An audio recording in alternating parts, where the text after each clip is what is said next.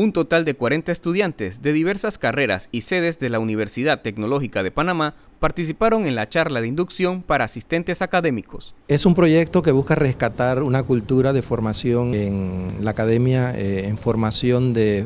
potenciales futuros docentes e investigadores de la Universidad Tecnológica de Panamá.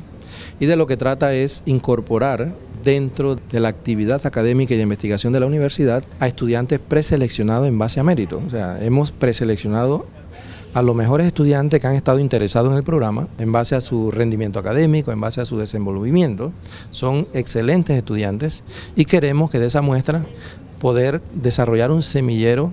de futuros docentes e investigadores de la Universidad Tecnológica de Panamá y consiste en, evaluar su desempeño, en poder identificar y detectar aquellos pues, que tienen las habilidades, las competencias, pero más que todo la aptitud y la actitud para poder